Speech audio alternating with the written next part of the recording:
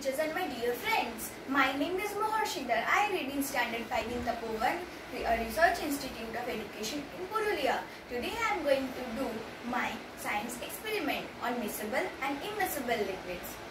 First of all, we need to know that what miscible and immiscible liquids are. Miscible liquids are those liquids that mix with each other in any proportion to form a homogeneous solution. The immiscible liquids are those liquids which do not mix up with each other to form a homogeneous solution.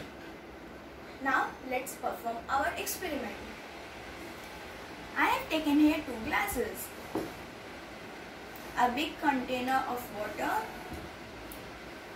two spoons, mustard oil and soya sauce. Now I will fill these two glasses with water.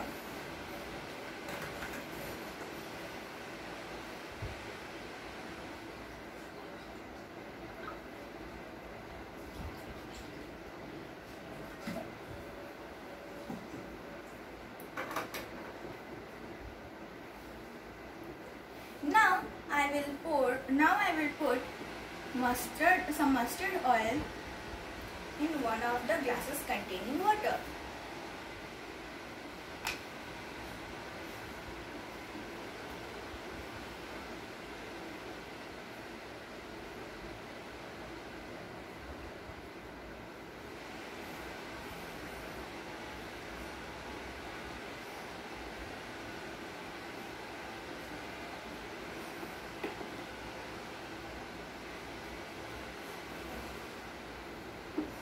In the other glass, I will put some soya sauce.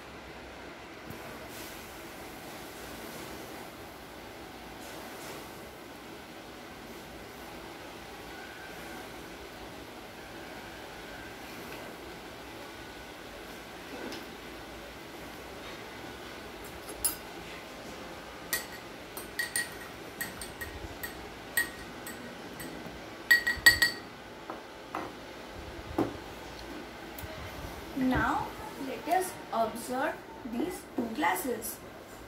In the first glass, the oil does not mix up with water properly.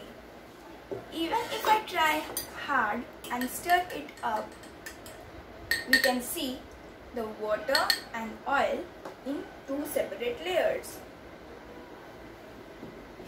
The soya sauce has mixed completely with the water to form a homogeneous solution.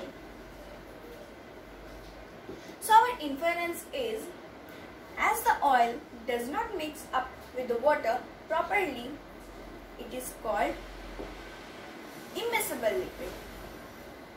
And the soya sauce has completely mixed up with water to form a homogeneous solution. So it is called miscible liquid.